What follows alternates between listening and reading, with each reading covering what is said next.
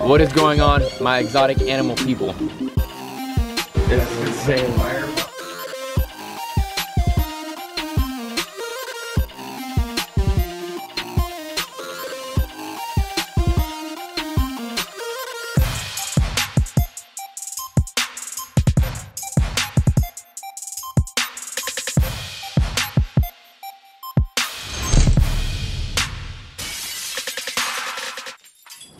For those of you that are new here to my channel, my name is Blake from Blake's Exotic Animal Ranch. In South Florida, it does not get as cold as some people think it does here, but when it's clear, beautiful skies like this, there's no clouds, it gets cold in early mornings sometimes, and when it drops below 60 degrees here on the ranch, we have to take very big precautions because we have many tortoises and turtles here that cannot withstand the cold temperatures. Normally what we do here on the ranch is I had everything situated and ready to go every year when it gets cold here on the ranch but we had a very bad accident here at Blake's Exotic Animal Ranch and we had a lightning strike. And because of that, I lost all my equipment and lights and light bulbs and everything from the fire. So I had to go back and purchase many more things for the tortoises, for the turtles and everything. And as you guys can see, I have brand new uh, light features, all different kinds of things. And this is literally nothing. This is nothing. I've had, I had hundreds of bulbs and stuff to go but I lost them all. Many of the species here I have on the ranch are from South America and Africa and they cannot withstand 60, under 60 degree weather. So I have to make sure I have light bulbs and different things all around the property. So like for instance, right here, I have African species, sulcata tortoises, and when it drops under 60 degrees, they don't do well, they might get sick, so I have to make sure I put the light bulbs and heating things in each one of their enclosures for when it gets cold. I have leopard tortoises over there, the same exact thing, and over there I have redfoots and South American tortoises from yellowfoots, wood turtles, and things of that sort that cannot get cold, so they have to have light bulbs or heating pads. The reason why I'm using light bulbs is because if I use heating pads, heating pads are very hard to tell if it's hot or cold. I have to go around with a heat gun to make sure everything is on. With heating lamps, light bulbs, I could go around from a farther distance and see if they're on or off and I know what wattage I have on each light bulb so I'm gonna know the temperature for each one and that's why I like to use light bulbs a lot better. They do break a lot but that's just a little bit more maintenance but that's okay but that's the reason why I like to use them is because I'm able to see from a farther distance and it looks like Christmas in my backyard with all the lights all around each enclosure. Normally where I would put a heat lamp, heat lamps are in each enclosure. So like in this enclosure right here, what I'll do is I'll put one to two to three different heat bulbs in here around 125 to 200 watt heat lamps in here a red color so it's for nighttime and they'll all go inside of here and what I'll do is I'll put refrigerator pads right here so all the heat stays up inside of there and they'll stay warm.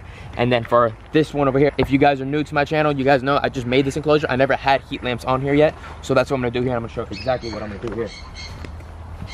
Right inside of here. Right inside of here i have this black piece right here. I'm gonna drill a hole here and a drill a hole here and I'm gonna have the heat lamps hanging right here and I can close the door when it gets real cold and it'll be perfect and nice and warm in here. I can check them in the middle of the night with a heat gun and if it's around 80 degrees, I'm happy, I'm good. It'll stay warm. and I don't have to worry about anything with the cold outside here in South Florida. And then once the sun comes out, open them up. If they would like to go out, they're ready to go and they can get that nice Florida sun. One of the female leopard tortoises right here that I have that I got donated to me. She's doing awesome, doing very good here on the ranch. Hopefully we're able to have some offspring here for you guys. Normally, I connect all the power, everything to my barn. You guys see, we don't have a barn.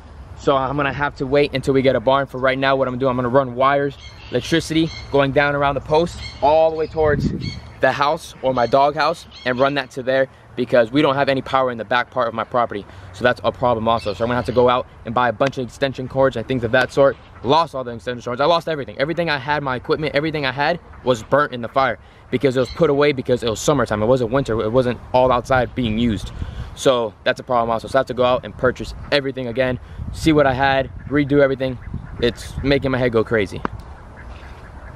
All right, we are inside my redfoot breeding tortoise enclosure. And in here, we have this structure right here, this house. And this is a very old house. This is around a seven year old house. I'm gonna have to redo this very soon. But as you guys can see, I have these um, refrigerator pads right here and that helps keep the heat in. These are all bented up from the sun, but I'm gonna have to get re new ones. But that's all right, this will last for this year. I'll just put a bunch of hay in there to keep them warm. And then on top of that, what I do is we'll lift this up real quick. This is my little piece of wood. Put that right there. There you go. And you guys look down. We have these heat lamps. These I didn't lose in the fire. I have these little eye hooks right here. You can connect those to there. I put around two of them inside of here and then it keeps them nice and warm. I lock them up when it drops around 60 degrees. I go around every single one of these closures once it gets around dusk, so around 6 to 7 o'clock count every single tortoise, put every single one of them inside, lock them up, and make sure that they're all good and safe for the night because it gets cold. If it's a rainy day, they stay in for the whole day. If it's hot out and the sun comes out, they get opened up and they're able to come out because during the day, it does go back up around 10 degrees most of the time. There's only like two to three times out of the whole year that it's just so cold that they stay in for a few days.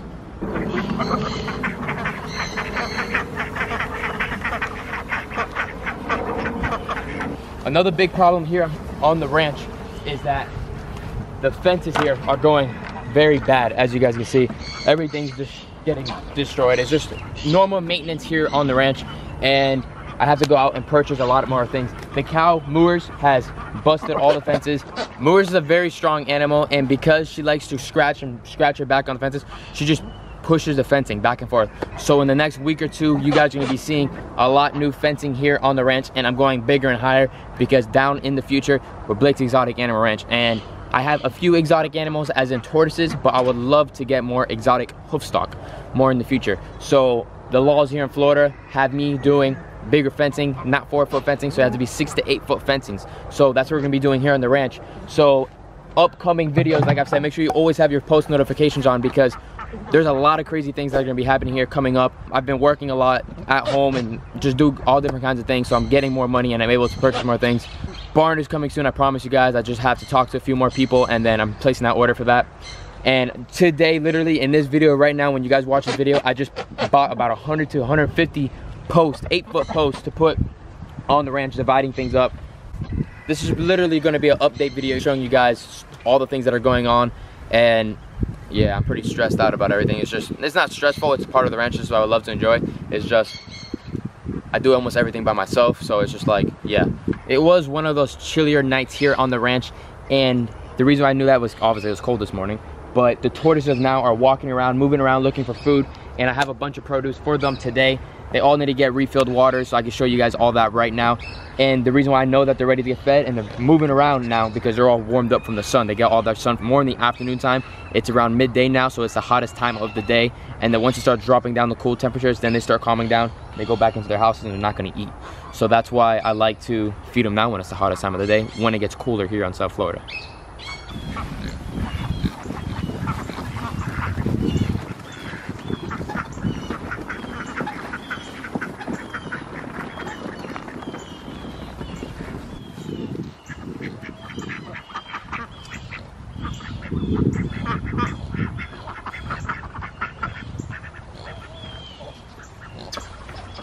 All right, you guys, so we're throwing down a bunch of dandelion and stuff of that sort for the sulcata tortoises.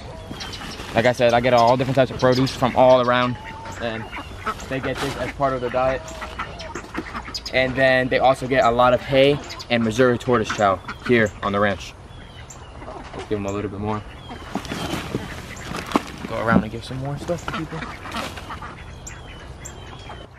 You always have to go back and go pick up all as many rubber bands as you can see the little plastics because all these things are just coming ready to it's considerably bad but it's not bad. It's like a day off of date so it's not good for people but for tortoises it's perfectly fine. It's been in the fridge. You just got to collect all the little wrappers and everything you got to go around. I check four or five times. Every single time i throw it into the ground. I'm doing a lot of talking in this video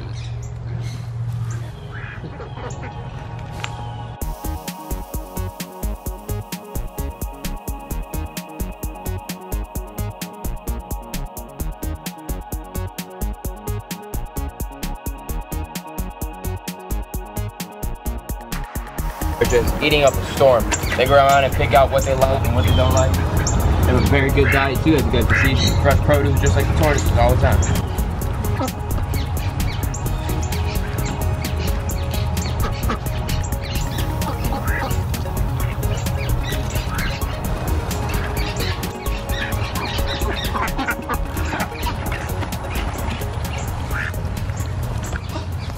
All right, you guys. Well, this is going to be the end of the video here at Blake's Exotic Animal Ranch. I know we didn't do anything fun here on this video, but I've been showing you guys exactly what's gonna be coming up on the ranch.